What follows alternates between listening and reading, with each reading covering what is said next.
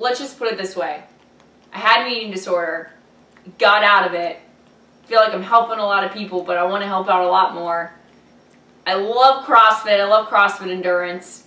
Um, gosh, what else? I am quirky. I will make your show better than it already is.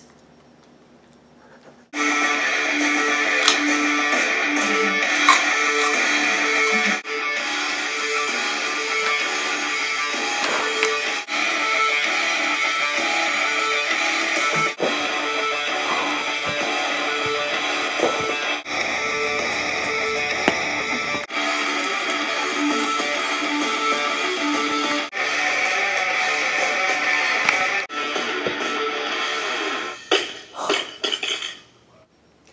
Barbell Shrugged, Lindsay Martin here. Hopefully you enjoyed some of the shenanigans uh, by myself and my dog over here, Carl. Uh, you can't beat a human name for a dog, so hopefully you thought he was really cute. We think he's really cute. Um, the producer of this is Jeffrey Ford. Uh, he is my fiance and also CrossFit Endurance uh, head programmer. I'll get to him later because uh, he's made a huge impact on my life. Um, but I wanted to shoot this video and because I'm very, very interested in being a part of your team uh, for Barbell Shrugged. I want to give you a little bit of background about myself, talk about where I am now, and kind of where I see myself going.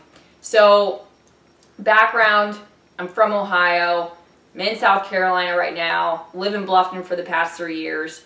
But in Ohio growing up, I played soccer, fell in love with the sport, was fortunate enough to get recruited by Ball State University, thriving metropolis in Muncie, Indiana.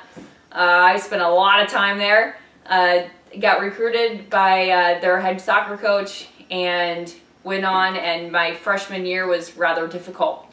Um, I battled an eating disorder my first two years of college soccer. I was extremely thin. Um, right now I'm probably around 135. I don't really get on the scale that much anymore. Uh, but at that point in time, I was weighing in around 109. My mom actually remembers 106, kind of blanked that part out. Uh, but I know I was really, really low. My heart rate lying down was 47.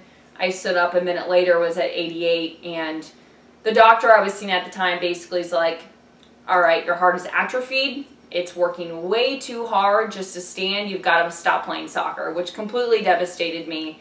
And I learned very, very quickly uh, the importance of nutrition and also the mental emotional side of things as well. And I ended up getting a lot of support, but it was really my faith that really helped get me out of that one. Um, battled my way back, and by the time I was a senior, I was voted captain of my team, and I finished with a phenomenal experience. Along the way, my undergraduate degree was in exercise science, and I completed that, did an internship at Hilton Head Health, where now I am currently at. But when I finished that internship, I knew I wanted to pursue my master's in nutrition. So I went back and back to the Ball State University and I got my master's in nutrition. At the time, I was a graduate assistant for the men's and women's golf programs. Loved that because it gave me the opportunity to work on the staff end of things with a bunch of athletes. Um, I know it was definitely more golf related, but I mean, it really is like a family there. And so I got to get involved with gymnastics teams. I got to be involved with the golf teams and their strength and conditioning and nutrition side of stuff. Um, my master's thesis was actually working with uh, the freshman and sophomore athletes and more in lines with the prevention of eating disorders. So I'm very, very passionate about it. Um, went on, and after I got my master's, I did my dietetic internship in the Notre Dame, Goshen, Indiana area most people don't know Goshen. It's like Amish country. Uh, finished that up and knew that I wanted to work in some type of facility that dealt with weight. Uh, I didn't know exactly what that looked like yet, uh, but I knew that Hilton Head Health, where I had previously interned, it's more of a weight loss facility. And I'm like, you know what, that sounds like it would be something I'd be very interested in. I loved their program, and Jeff Ford ended up hiring me. Um, he was their fitness he was their head fitness guy and also the leader of their wellness coaching program. So he's like, okay, well, in order for you to come down here, basically, you got to become a wellness coach because we know you're a dietitian and that's all well and good, but let's get you doing something different too. So I became a wellness coach. Um, it's called Wellcoaches, and it's it's approved by the ACSM, which probably means nothing to you guys, uh, but um, it's a great it's a great program. And so I came down there and I did more of the uh, wellness coaching. I taught a few fitness classes, and then on the dietetic side of things, that's where it's really I'm not so much fitness now. I'm way more nutrition focused, where all the one all the one-on-ones, grocery tours, meal planning, menu development. I give about five to gosh eight lectures a week depends on the week i work with the chefs a lot so sometimes we do cooking demos and we get i mean sometimes 20, 25 people in a room. So I'm very comfortable talking in front of a group of people. And I, I genuinely love working with the guests there. Um, on a personal note of things, uh, ever since I moved down to this area, I started CrossFit. So when you when you're a college athlete and you get done, you really don't know what to do with yourself because you've got this competitive side, um, but you're still now you've got a job. And it's like, well, how do I do both? Well, I fell in love, love, love with the CrossFit endurance side of things. And Jeff Ford is now the head programmer for CrossFit Endurance on the main site. And so he's really helped me become a what I would consider a competitive runner. Um, when I first was here and started the whole CrossFit Endurance, I did my first marathon, qualified for Boston, and now I'm still involved in local races. I've dabbled into the triathlon. The, the swimming still petrifies me. Anxiety attacks in the water is never fun when you start backstroking in the middle of a triathlon. But any way you can get oxygen, you're willing to do it.